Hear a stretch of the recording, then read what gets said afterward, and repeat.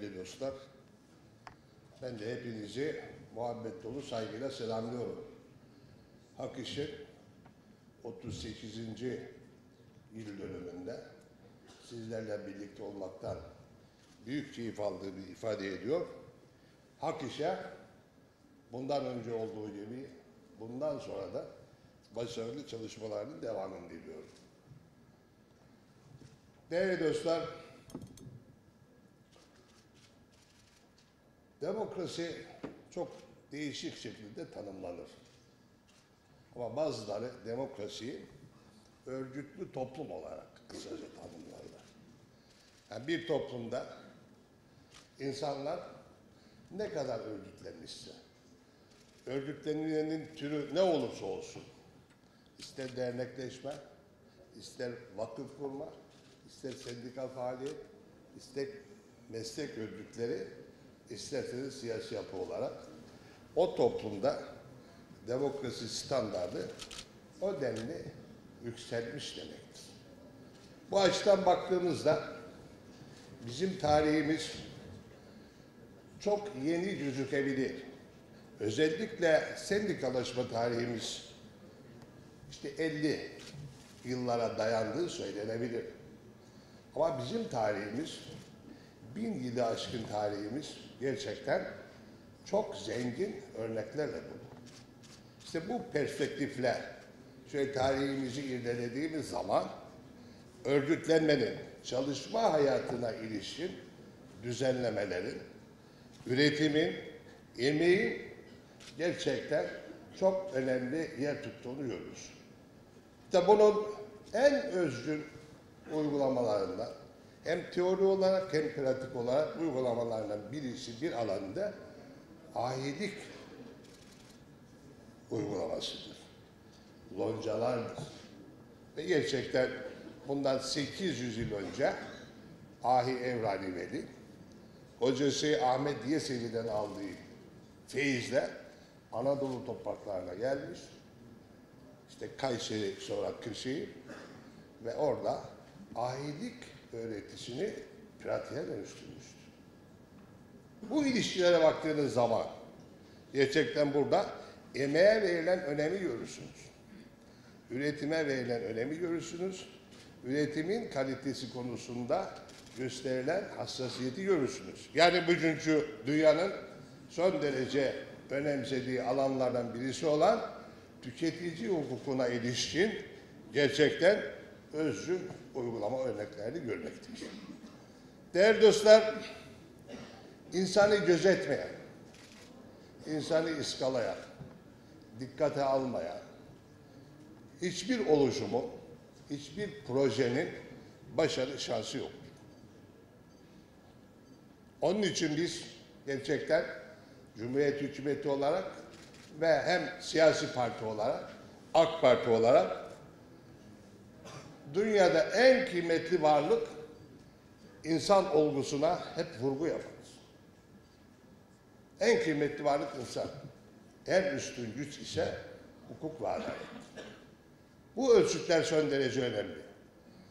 İnsanın değeri hukuk ve adaletin üstün güç oluşu.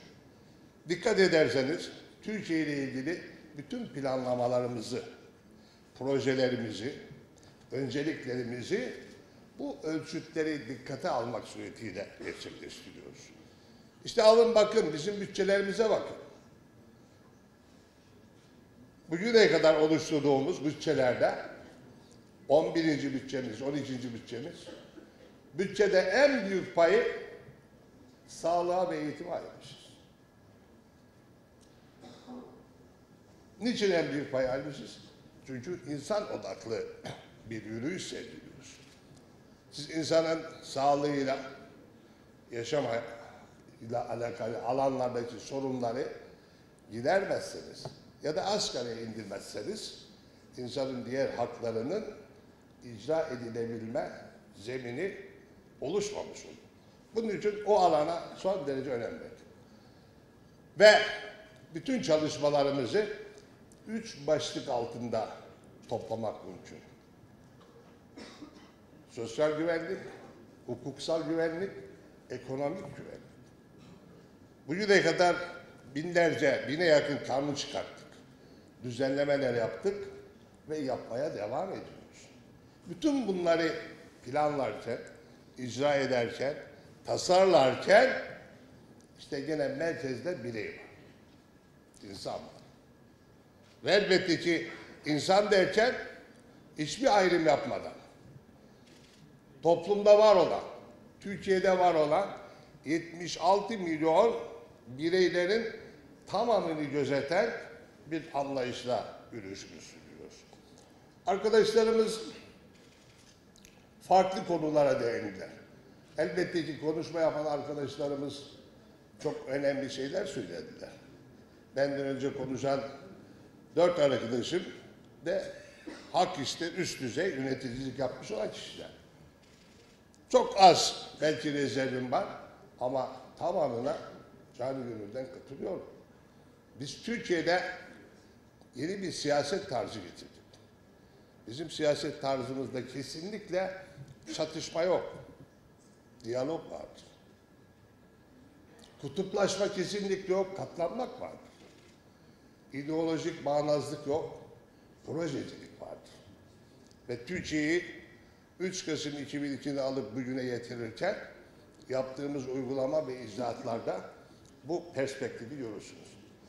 Değerli dostlar, aslında hak işin tarihiyle kuruluşundan bugüne toplum içerisinde karşılaştığı sorunlar, o sorunlar karşısında gösterdiği soğukkanlılık ya da duruşu bizim partimizin kuruluş evresi öncesi ve kuruluştan sonra karşılaştığı sorunlar ve ona karşı duruşumuzla çok büyük ölçüde bir benzerlik göstermektedir.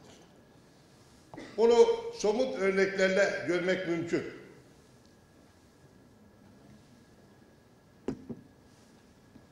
Ve bundan ötürüdür ki Türkiye'nin sorunlarını çözme bağlamında kamusal alanda yürüttüğümüz ortak projelerde hep birlikte yürüdük. İşte 26 maddelik bir anayasa değişikliğini gerçekleştirdik. Bugün yine anayasa değişikliği üzerinde siyasi partilerimizin grup başkan vekilleri Sayın Meclis Başkanı'nın başkanlığında toplantı halinde. Sanırım şu saatte toplantı devam ediyor. Ne konu? Mutabık kalındığı 60 maddenin meclise getirilip getirilmeyeceği konusu. Peki anayasa yapma kimin hakkı? Milletin hakkı. Bu tekel bir hak. Anayasayı millet yapar. Ve anayasa millet tarafından yapılan üst norm kamu erki içerisinde yer alan kurumların görev yetkilerinin belirlendiği, hak ve özgürlüklerin güvence altına alındığı temel bir yasa. Bu tekel bir haktır anayasa yapma hakkı. Bu devredilmez. Ya doğrudan doğruya kullanılır ya da temsilciler aracıyla kullanılır. Türkiye'de bugüne kadar beş tane anayasa çıkartılmış. 1876, 91, 24, 61, 82 anayasaları. E Peki millete ait dediğimiz bu anayasayı hangisini millet yapmış? Yani Cumhuriyet'in kuruluş yıllarını bir yana tutalım. Kurtuluş Savaşı sonrası süreci istisna edelim. Hepsi olağanüstü dönemlerde ve bir kısmında darbeler sürecinde darbeciler tarafından yapılmış. İlk defa bir anayasa yapacak zemine kavuşmuş. Parlamento bunu başarmak zorunda. Öyle bir süreçte yaşıyoruz. Ve bu anayasada en büyük değişikliği 2010 yılında 26 maddeyle referanduma giderken Hak İş Konfederasyonu'nun çok büyük katkıları olmuştur. Değerli dostlar, iş hayatına ilişkin de bizim tarihimizde, geçmişimizde çok özgün uygulamalar var. Emek kutsaldır. Çalışanın ücreti alın teri kurumadan ödenmesi gerekir. Biz bunlara inanırız. Öyle geliyoruz. Belki sendikacılığın batıdan esinlenerek kendi bir dili var, jargonu var. İşte hak verilmez alınır. Ha, vermeyen yönetimlere karşı bu slogan geçerli. Ve elbette ki çalışanın emeğin hakkını, yani herkesin hakkını daha doğrusu. Yani haklıya hakkını vermek, haksıza da haddini bildirme çerçevesinde bir dürüst sergileyen hükümetimizin bu alandaki hassasiyeti son derece önceliklidir. Hiçbir alanda, iş hayatında olsun, üretim alanında olsun, ticari alanda olsun, diğer alanları da dahil etmek üzere bütün düzenlemelerimizi yaparken hedef kitlemizle, paydaşlarla mutlaka katılımcı bir anlayışla süreci yürütüyor, sevk ediyoruz. İşte örnek verdi arkadaşlarım. İş kanununda düzenleme yapılırken. Ve bugün de, bugünlerde de elbette ki çok önemli bir sorun kıdem tazminatı ve taşı sorunu tartışılıyor. Ben biliyorum ki Çalışma ve Sosyal Güvenlik Bakanımızla bu alanın paydaşları yani sendika ve yöneticiler arasında ve elbette ki işveren kesimi de var.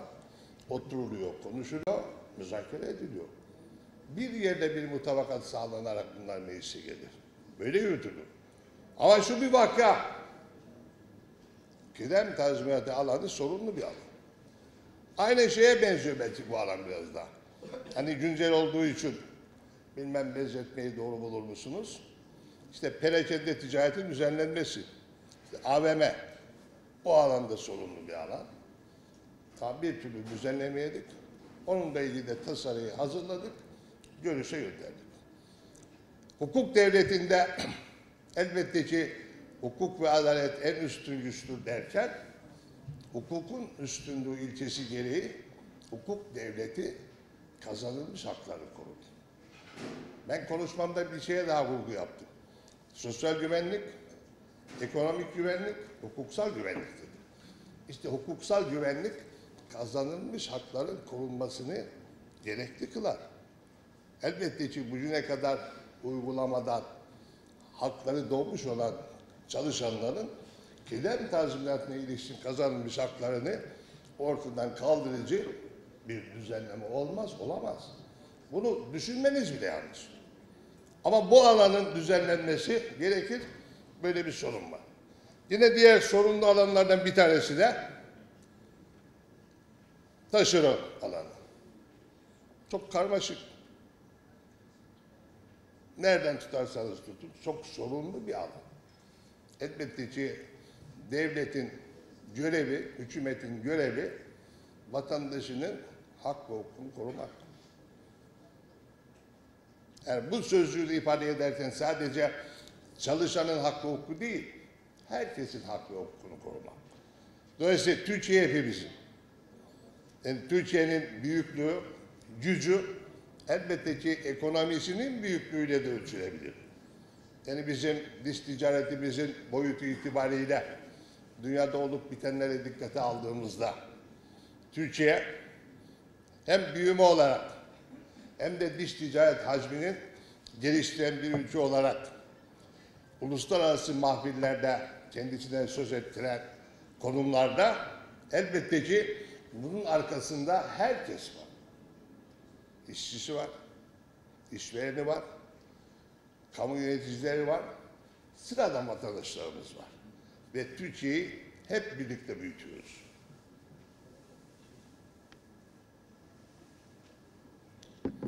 İnanıyorum ki bugün burada bu konuları eline boyuna tartışacaksınız. Elbette ki sizin bu tartışmalarınız hükümetin yapacağı düzenlemelere yasal düzeyde gerçekleştirileceği düzenlemeler açısından bir ışık teşkil diye düşünüyorum. Ben bu duygularla Hak İş'in 38. yılını kutluyorum ve bu konferansın iş dünyamıza, Türkiye'mize hayırlı sonuçlara vesile olması dileğiyle sizleri bir kez daha muhabbet dolu saygıyla selamlıyorum.